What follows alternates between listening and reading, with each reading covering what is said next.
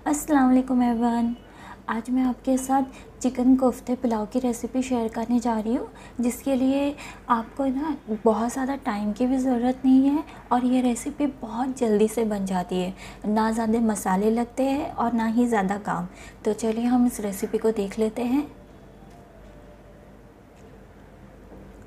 तो यहाँ पर मैंने 300 ग्राम चिकन ले लिया है और ये बोनलेस है। इसे वॉश कर लिया है। और धो के रख दिया है और इसका सारा पानी निकाल दिया है। यहाँ हम इसमें one and half teaspoon ginger garlic और चिली का पेस्ट जो होता है ना, वो इसमें ऐड कर देंगे। और साथ ही में यहाँ पर मैं half teaspoon lemon juice add कर रही हूँ। तो अभी हम इसमें कुछ ड्राई मसाले ऐड कर देंगे।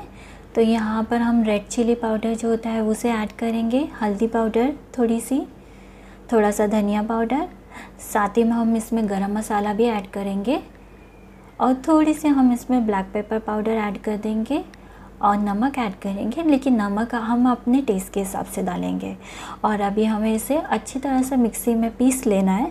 हमें इसे कोफ्ते का शेप देना है ना तो ये सारे मसालों और चिकन को हम अच्छे से पीस लेंगे और इस तरह से हम इसे रेडी कर लेंगे। और इसमें जब हम पीसेंगे ना तो इसमें हमें पानी बिल्कुल भी ऐड नहीं करना है। वरना हमारी कोफ्ते का शेप नहीं बनेगा अच्छे से। अभी इसमें मैंने थोड़ा सा मेल्टेड बटर ऐड कर दिया है और फ्रेश करिएंडर इसे भी हम अच्छी तरह से मिक्स कर देंगे। और इस तरह से हम इसे कोफ्ते का शेप शेप दे देंगे। आप राउंड शेप कोई भी शेप दे सकते हो साइज़ भी आप कुछ भी रख सकते हो तो इस तरह से हम इस सबको रेडी कर लेंगे। काफ़ी कोफ्ते बन जाते हैं, इतने कम चिकन में भी। तो यहाँ पर मैंने एक पॉट ले लिया है, जिसमें हमें पुलाव बनाना है ना, सेम हम उसी में हमारे जो कोफ्ते हैं वो डीप फ्राई कर लेंगे। इसलिए मैंने इसमें ऑयल थोड़ा ज़्यादा डाला है।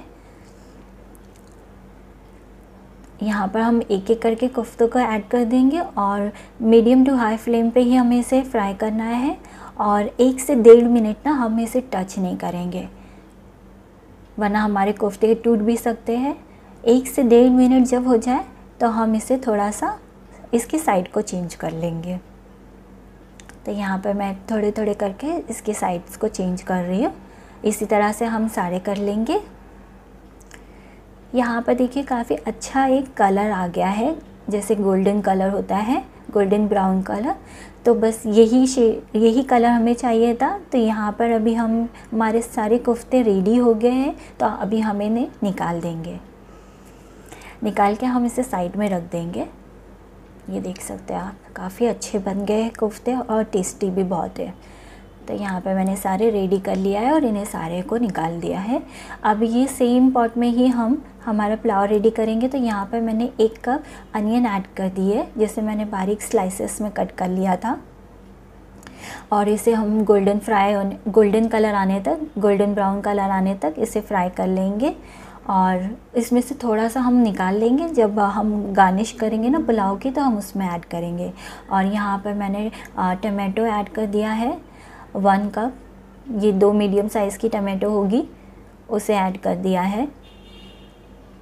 और यहाँ पर कुछ गरम मसाले हैं, उसे भी हम इसमें ऐड कर देंगे। यहाँ पर मैंने शाही ज़ीरा लिया है सिनेमन स्टिक लिया है ब्लैक पेपर लिया है, लौंग लिया है ग्रीन इलायची जो होती है ना, हरी इलायची, वो ले ली है। तो ये सारे हम इसमें गरम मसाले ऐड कर देंगे और इसे भी चला लेंगे अच्छी तरह से।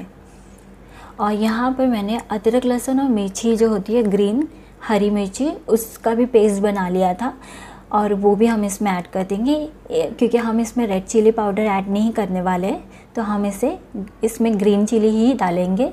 तो सारा पेस्ट करके हम इसमें ऐड कर लेंगे और उन मसालों को भी अच्छी तरह से भून लेंगे।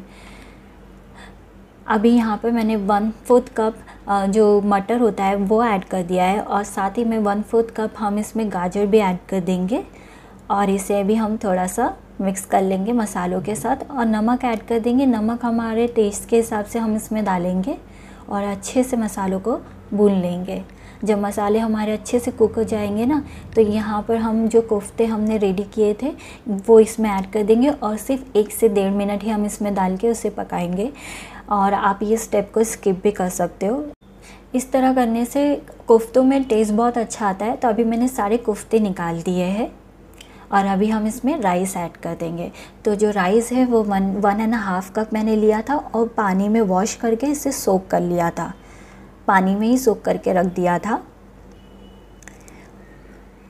तो ये भी हम इसमें ऐड करेंगे और साथ ही में हम इसमें दो कप पानी डालेंगे क्योंकि ऑलरेडी जो सोक किया था पानी, उसमें भी थोड़ा सा पानी था। तो मैंने इसमें टू एंड हाफ़ कप पानी डाला है टोटल और इसे अच्छी तरह से हम ड्राई होने दे देंगे।